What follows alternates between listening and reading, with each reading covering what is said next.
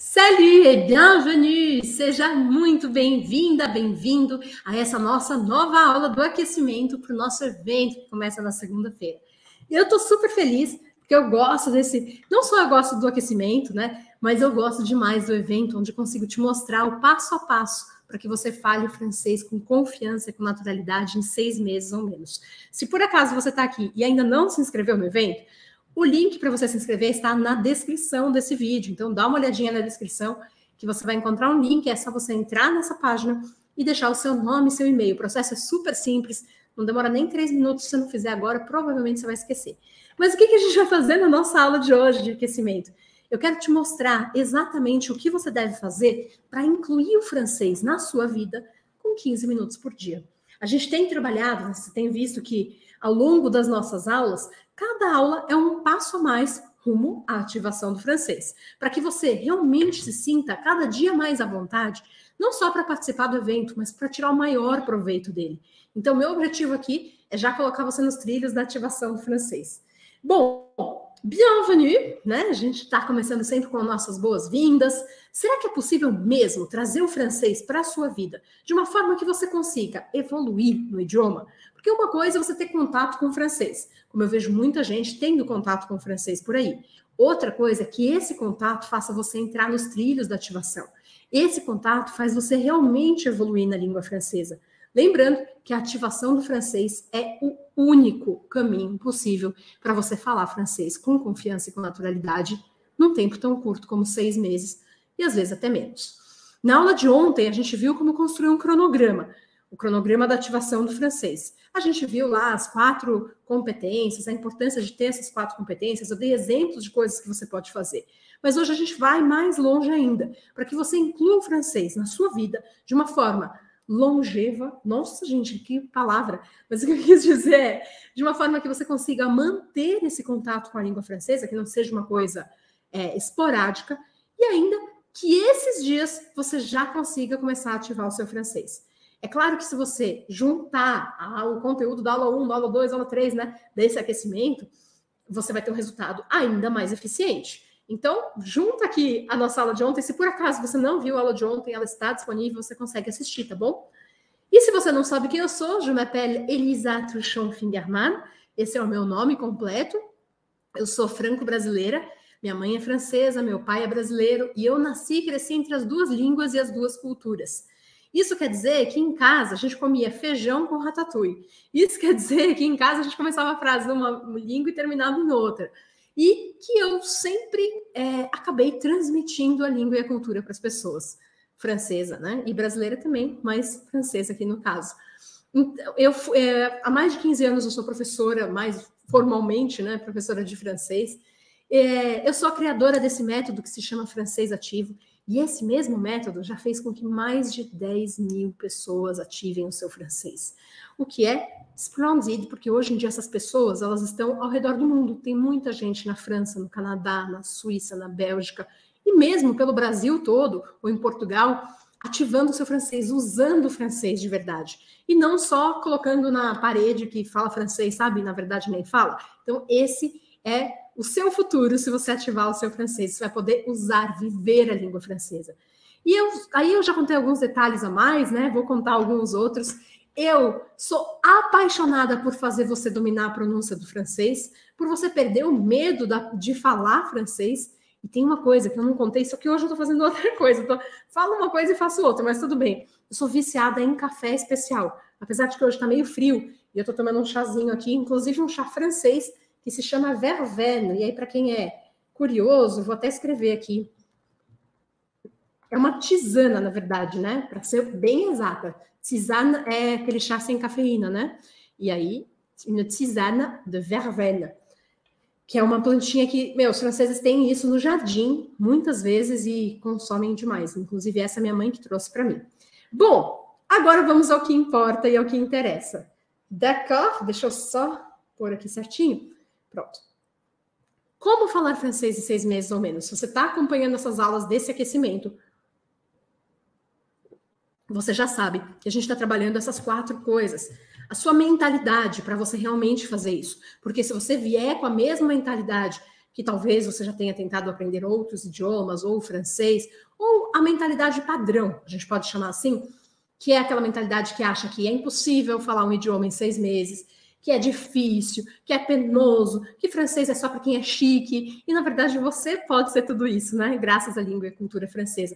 Mas a gente precisa primeiro de uma mudança, de, de uma mudança de mentalidade, porque se fosse é, se fosse com qualquer mentalidade que fosse possível, qualquer pessoa estaria aí fazendo isso. Você sabe muito bem que não é o caso, mas você pode sim falar francês em seis meses. Não é nada muito de outro mundo. São pessoas absolutamente normais e você pode também.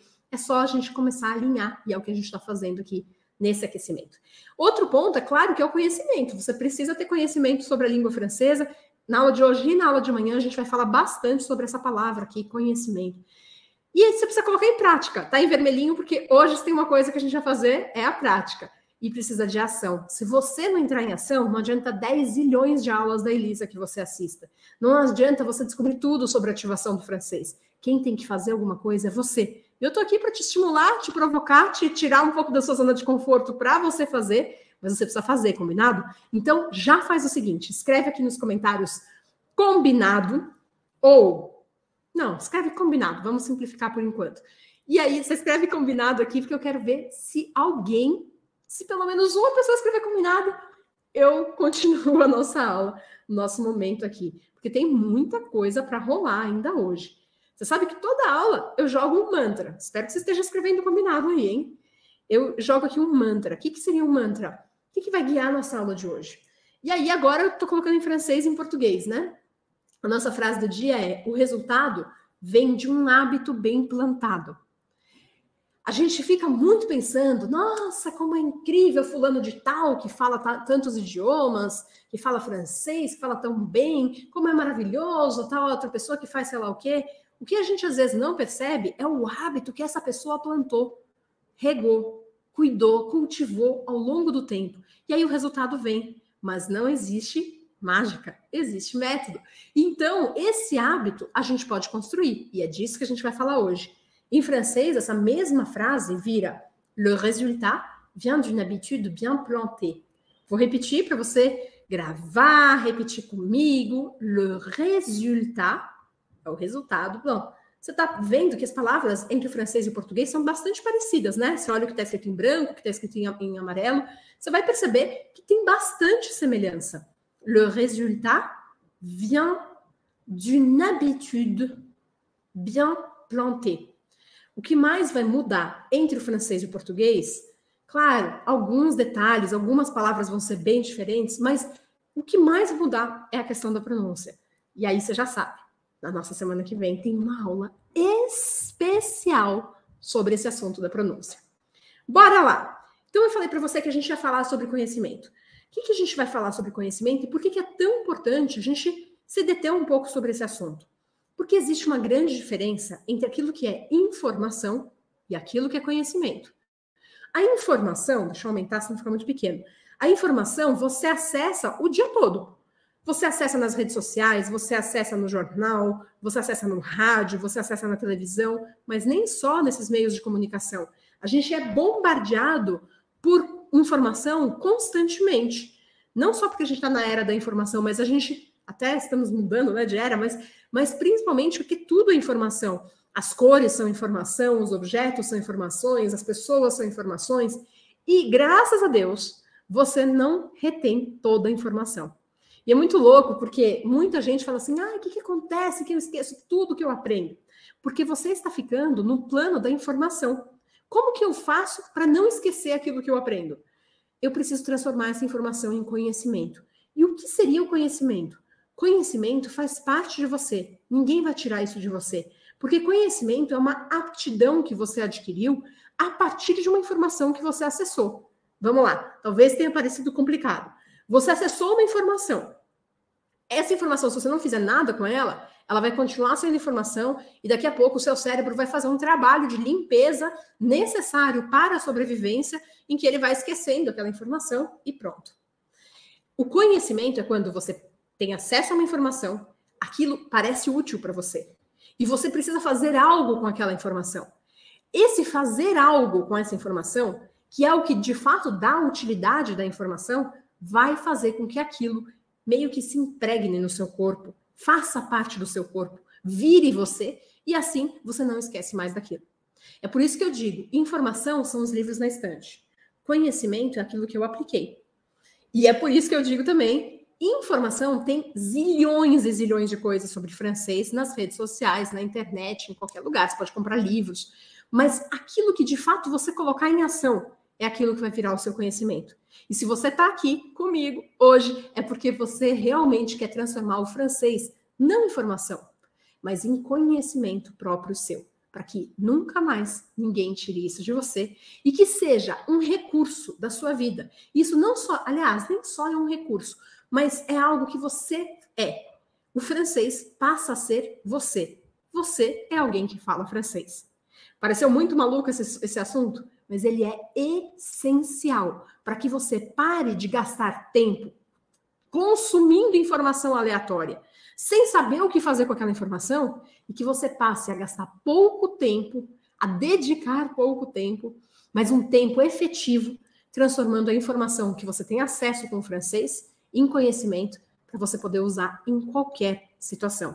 Imagina, por exemplo, que se você chegar em um hotel, num restaurante, em um país de língua francesa, você vai conseguir se comunicar. Imagina que se você passar por um perrengue em um país de língua francesa, perdeu o passaporte, ficou doente, você vai conseguir se comunicar. Se você já mora em um país de língua francesa, você vai conseguir passar entrevistas de emprego, acompanhar os seus filhos na escola, fazer amizades em francês. Você não precisa mais ser refém de ficar só amigo de quem fala português, que é maravilhoso, mas que ao, ao mesmo tempo faz com que você sempre fique meio à parte da sociedade.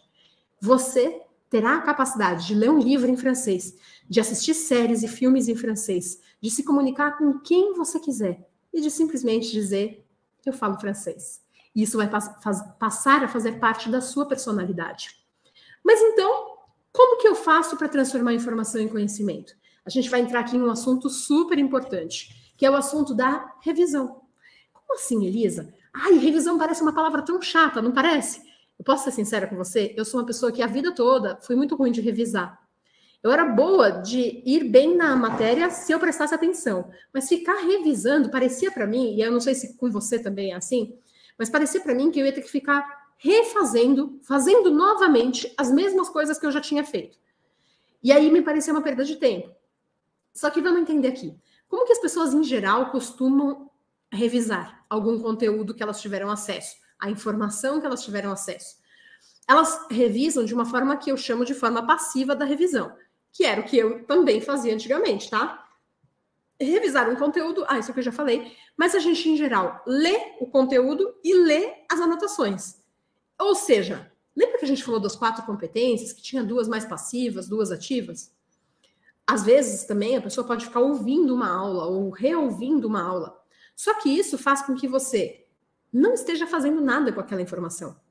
Você teve acesso àquela informação, mas a, probabilidade de você esquecer daquilo daqui a dois dias, gigante. Por quê? Porque o seu corpo precisa sobreviver. Eu lembro que eu estudava física, química, não entendia bolhufas daquele negócio. Inclusive, eu nem fazia os exercícios, porque eu não entendia.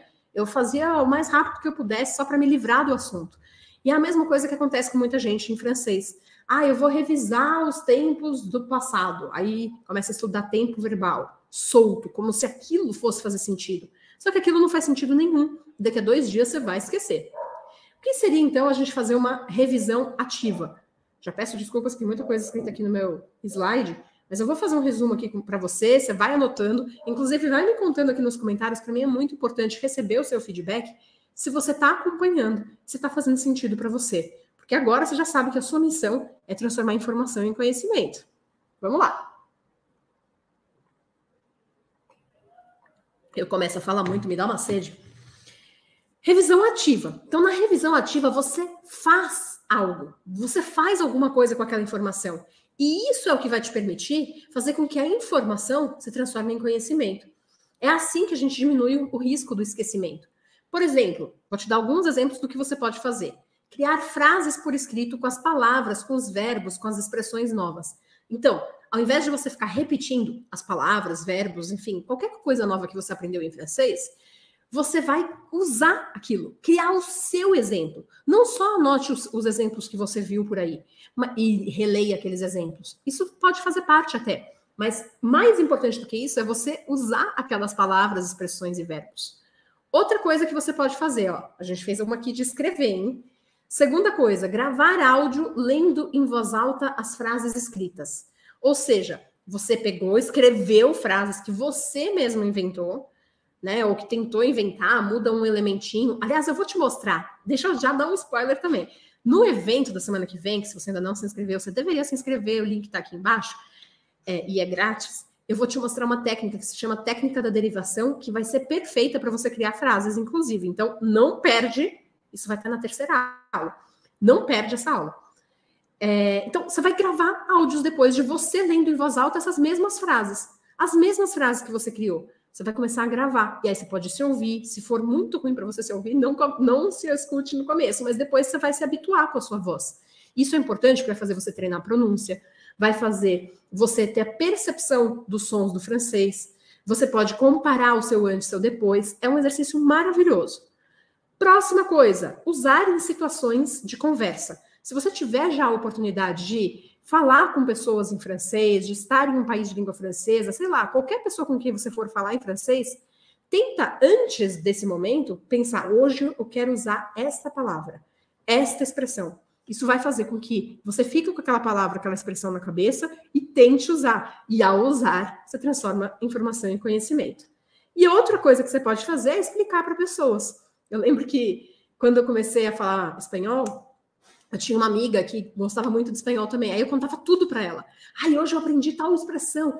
Isso é maravilhoso, porque a gente usa, a gente torna aquilo útil. E, de novo, a gente transforma a informação em conhecimento. Você está percebendo que o caminho da ativação é o caminho de usar o idioma? Então vamos lá. Mas a Elisa falou que na aula de hoje a gente ia saber como é que a gente faz para, em apenas 15 minutos por dia, realmente conseguir fazer alguma coisa. O que, que eu faço em 15 minutos por dia? E eu gosto de falar que tem uma palavra-chave, que é essa aqui: como criar um ritual com o francês. Essa é uma das ferramentas mais poderosas, mais potentes para sua transformação, que é a rotina. Só que não aquela rotina chata, tipo, ai meu Deus, faço tudo sempre igual. Todo dia ela faz tudo sempre igual. Não, você não vai fazer sempre tudo igual. Mas você vai ter pequenos rituais com a língua francesa. O que seria ter um pequeno ritual? Eu falei para você no começo da nossa aula de hoje que eu sou apaixonada por café especial. Quando eu não estou tomando um cafezinho especial, estou tomando um chazinho quentinho. Isso passa a ser certo, um certo ritual para mim, algo que me conecta comigo mesma. O francês precisa começar a se transformar nisso na sua vida. Porque quanto mais você consegue, de certa forma, ritualizar o francês, fazer com que o francês seja algo que te reconecta a você mesmo, é muito mais fácil você manter o hábito do francês na sua vida. Tá parecendo um papo de louco? Espero que não. Se você tá gostando dessa ideia, escreve aqui ritual nos comentários. E fato é que não há resultado, não existe resultado no mundo sem rotina. Às vezes a gente fica se perguntando, mas o que, que vem primeiro? O resultado ou a rotina? A gente olha aquelas pessoas que são ótimas em fazer exercício físico, e aí a gente não sabe mais se a pessoa gosta muito da rotina e aí vem o resultado, ou se ela é tão viciada no resultado que aí a rotina fica mais fácil. Talvez seja um enigma que a gente nunca descubra. Mas o fato é que se você conseguir trazer o francês para sua vida de uma forma que te conecte com você mesmo, eu já vou te explicar como fazer isso, é mais fácil você manter o contato com o francês. E se você mantém com constância o contato com o francês, o resultado vem. É impossível ele não vir. E quando eu falo contato com o francês, lembra disso, hein? A gente falou disso ontem. Não é só ouvir o francês, é também você falar, é também você escrever, é também ouvir, é também ler. Então é a gente fazer as quatro competências mesmo, tá? Continuando. É, aí eu falei para você, mas tá, mas como que eu vou fazer isso, né? O que, que é mais fácil manter? Uma rotina imposta de fora, que te desconecta da sua vida, ou um ritual que te reconecta com você? Vou te dar um exemplo de rotina imposta. Eu lembro que eu fazia aula de inglês e eu era adolescente, né? E aí eu tava fazendo alguma coisa, olha lá, eu servindo chá aqui no meio da aula. Eu tava fazendo alguma coisa e eu tinha que parar, porque tinha dado a hora da aula, da aula de inglês. E eu tinha que ir a pé. Aí eu ia andando devagar, que eu achava aquela aula um saco. Aí eu nunca tinha feito a tarefa. Não sei se você já se reconhece em alguma situação de aprendizado de idioma assim. Enfim, aquilo claramente era tipo um. Parecia que fazia esse barulho, assim, me arrancava da minha vida. Eu tinha que parar a minha vida para estudar inglês. E era um horror. E aí o que, que acontece? Fiquei anos e anos e anos e não conseguia falar inglês. Também conto mais detalhes disso mais para frente para você. Mas eu não sei se isso já te aconteceu com o idioma, com qualquer outra coisa. Mas isso não deve ser assim. Se você conseguir trazer contatos com o idioma, com o francês, que te deem prazer, que sejam prazerosos, que te encham de energia, você nunca vai se sentir se desconectando da sua vida. Ao contrário, o francês vai passar a ser cada vez mais necessário, porque ele te reconecta com você. É como quando a gente tem um hobby, é como quando a gente tem, quando a gente está apaixonado. Quando a gente está apaixonado, a gente sempre acha tempo para ver o outro, não é? Não sei se você já ficou apaixonado, mas eu lembro, né? Só me apaixonei pelo meu marido, tô brincando, mas, mas eu lembro de realmente ficar pensando naquilo o tempo todo. E aí, às vezes, parece meio estranho, porque parece, ah, mas eu não tenho tempo de ficar pensando naquilo o tempo todo. Mas é um processo natural. Por isso, a gente precisa buscar esses rituais que fazem sentido na sua vida. E não existe a receita do bolo. Alguns exemplos. Você pode achar que isso não tem nada a ver com francês, mas está completamente ligado. Ai, não, eu não pus aqui. Eu vou te dar alguns exemplos do que você pode fazer. Digamos que você seja uma pessoa que gosta muito de cozinhar. Que tal você começar a procurar receitas em francês? Pois é, você não tinha parado para pensar nisso? Então, nisso você vai descobrir vocabulário, vai ver pessoas falando, vai te dar vontade de cozinhar aqueles pratos, vai se aproximar da língua e da cultura. Ah, não, Elisa, eu odeio cozinhar, essa ideia foi péssima. Mas se você gosta de ler, por que, que você não começa a ler em francês? Ah, mas eu vou entender tão pouco no começo. Mas quando aquilo se tornar um hábito, você vai entender cada vez mais. Ou se você gosta de futebol, por que você não pesquisa sobre futebol internacional em francês? Ou você gosta de games? Por que, que você não começa a jogar os seus games em francês? Ou então, por que você não pesquisa sobre o universo gamer em francês? O que quer que você goste, não interessa o que é. Pode ser de qualquer tipo de assunto. Pode ser um assunto mais intelectual, artístico, pode ser científico, pode ser o assunto que for, filosófico, técnico, é, fotografia, o que for da sua profissão, ou de um hobby, ou você está grávida e quer é, saber como é que você vai cuidar dos seus filhos, essas coisas que são importantes para a gente, você começa a fazer em francês. Isso vai começar a te conectar com a língua francesa, porque você quer descobrir aquele assunto. E à medida que você se conecta com a língua francesa, você cria um ritual do francês. Você pode conectar, inclusive, com pequenas coisas que você faz. Ao momento que você toma um café, um chá, o momento que você acorda e que você tem um tempinho para você, se isso acontece, ou o momento antes de dormir, o momento, esses seus momentos que você transforme eles com e graças à língua francesa. Uau! Nossa aula hoje foi, foi um pouquinho mais longa, mas espero que você tenha gostado. A gente está aqui, e continuei deixando aula 2. A gente está aqui na nossa aula 4 do aquecimento para o nosso evento.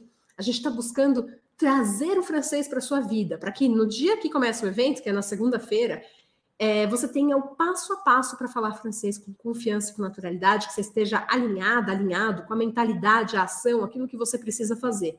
Assim, você vai conseguir colocar em prática para transformar a sua vida com o francês. Mas não pense que acabou, porque está faltando um pouco de francês na nossa aula de hoje. Então, eu quero que você comece a dizer em francês o que você vai fazer com o francês hoje. Deixa eu só Dá um gole aqui. Aujourd'hui, aujourd'hui significa hoje. Essa palavrona aqui, aujourd'hui. E a gente fala assim, aujourd'hui. Aujourd'hui, je vais. Hoje eu vou. Lire, ler, esse você já tinha aprendido. Écouter de la musique, escutar música. Voir un film ou série. Faire la cuisine. Faire la cuisine. En français. Então, aqui eu coloquei quatro exemplos, mas eu queria que você buscasse escrever no seu caderno, gravar um áudio, o que, que você vai fazer hoje em francês. Presta atenção, bora lá e já começa a me seguir em todas as redes sociais, eu chamo a Vekelizar em todas elas. E se você ainda não se inscreveu aqui, aproveita, se inscreva e ative as notificações. A gente se vê amanhã para mais uma aula de aquecimento. Un gros bisou et à très bientôt. Aujourd'hui, je vais te dire au revoir. Bisous, tchau, tchau.